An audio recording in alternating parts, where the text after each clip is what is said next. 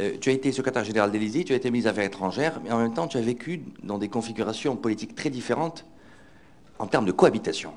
Et ça, c'est vraiment intéressant, la cohabitation. Cohabitation vue des deux côtés, vue du côté de, enfin, des deux côtés de l'exécutif, on va dire, du côté du sommet de l'exécutif et puis du côté du, du gouvernement. Comment on gère les situations conflictuelles quand il y a des domaines de compétences partagés au niveau des deux têtes, l'exécutif. Comment on institutionnalise le dialogue? Est-ce que c'est simplement un côté relationnel? Parce que on a aussi invoqué cet, aspect par rapport à, ta personne, dans les, bonnes relations que tu avais entretenues, que tu gardais, en tout cas avec euh, la droite et la gauche. Et comment on institutionnalise quand on doit travailler ensemble? Est-ce que c'est une question de personnes Est-ce que c'est les personnes qui s'entendent ou qui ne s'entendent pas? Sachant que, notamment, je parle en particulier évidemment des domaines régaliens, la politique étrangère, la défense, les, sujets sur lesquels le gouvernement et, le président de la République ont des choses à dire dessus. Et je pense que l'expérience française sur ce plan-là, qui n'est pas écrite, euh, euh, sauf peut-être sur euh,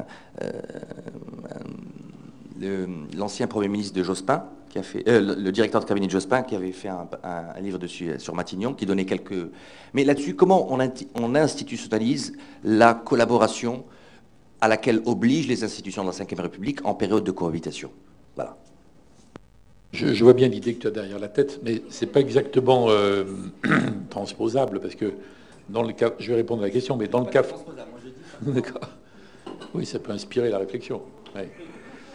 Dans le cas français, c'est dans le cadre d'une constitution qui existe depuis longtemps, qui est ambivalente parce qu'elle est essentiellement présidentielle, mais elle a quand même un article 20 qui dit que c'est le gouvernement qui conduit détermine et conduit la politique de la nation. Bon. Et, c'est vrai que la question se posait. Euh, de Gaulle s'était posé la question. Il avait fait quelques commentaires assez savoureux en parlant à Perfit là-dessus. Giscard s'était posé la question avant les élections de 1978 qu'il avait 77 non 78 qu'il avait failli perdre. Il avait dit que dans ce cas-là, il se retirerait à Rambouillet tout en restant chef de l'État et qu'il euh, criblerait le gouvernement de critiques.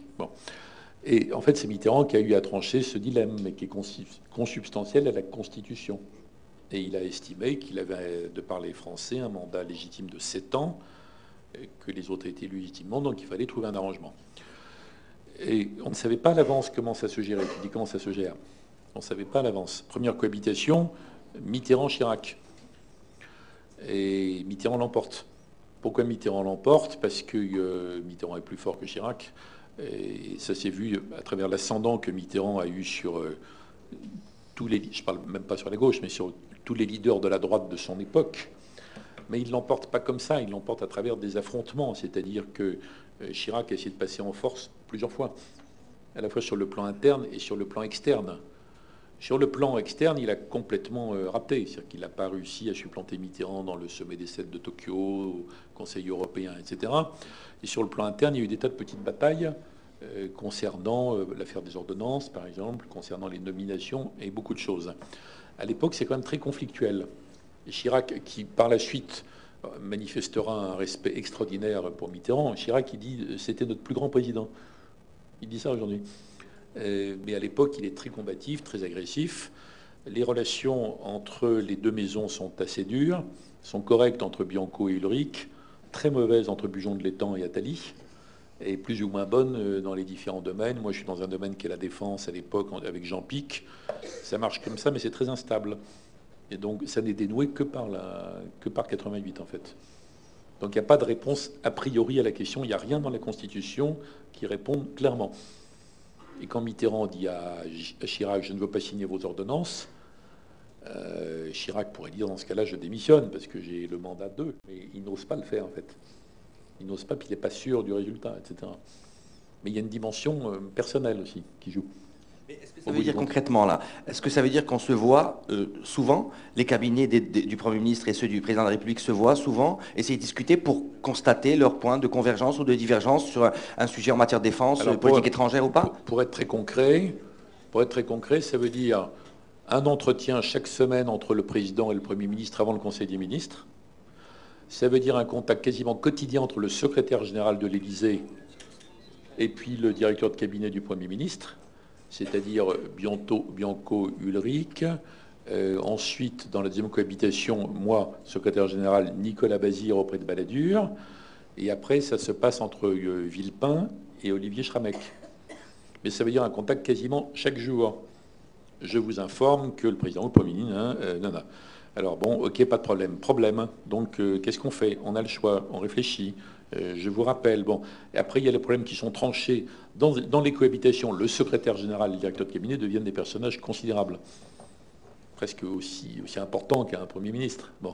Ils tranchent ensemble tout ce qu'ils peuvent. Et quand ils ne peuvent pas, ils passent au-dessus. Bon, donc il n'y a pas de réponse à ça, sauf que c'est absolument non-stop. C'est vrai dans les domaines régaliens. Parce que dans les domaines non régaliens, dans une cohabitation, le Premier ministre dit c'est moi le patron.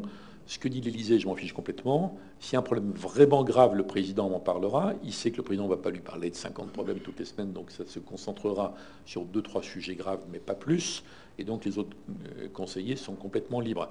Un conseiller technique de l'Élysée en période de cohabitation, il va pêche aux informations, il a du mal parce que les administrations se referment comme des huîtres. Donc il voit les journalistes qui voient les autres. Avec Balladur, ça s'est mieux passé. C'était moins, moins conflictuel que. Deuxième cohabitation. Balladur, il arrive en disant Je ne vais pas faire comme Chirac, c'est quand le de idiot, je ne vais pas affronter Mitterrand, c'est perdu d'avance. De toute façon, c'est codifié.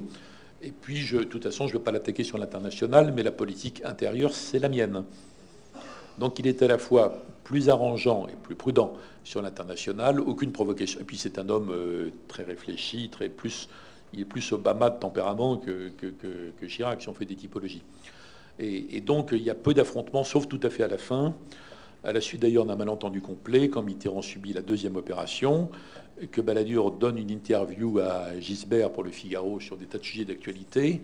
Et Gisbert, euh, malicieusement comme on le connaît, titre ça Ma politique étrangère mais c'est Gisbert qui fait le titre, c'est pas Balladur. Mitterrand, après l'opération, dit qu'est-ce que c'est? Il a profité du fait qu'il me croyait mort pour faire ça. Donc euh, euh, Mitterrand se venge un peu de la, du prétendu assaut de Balladur.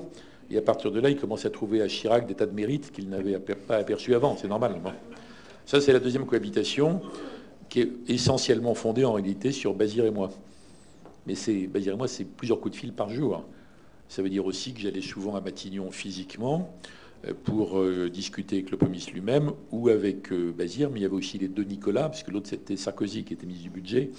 Chaque fois que j'allais à Matignon, il était là, donc je ne sais pas quand il était au budget, mais donc il y a, mais c'est permanent. Donc il faut des gens qui peuvent être en désaccord entre eux, avoir des options politiques différentes, ne, rien laisser passer, mais qui sont obligés d'avoir un minimum de correction professionnelle pour faire fonctionner les choses ensemble.